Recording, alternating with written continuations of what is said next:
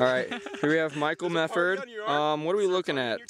So what you will see here is the yellow, uh, brown horned caterpillar.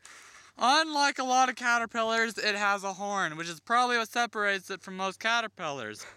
Now this one was feasting before I bugged him. And as you can see, he's more of a yellowish tint. We have some green ones here. And the yellow means he's in the second stage of the metamorphosis. The second. He'll be a moth any day now.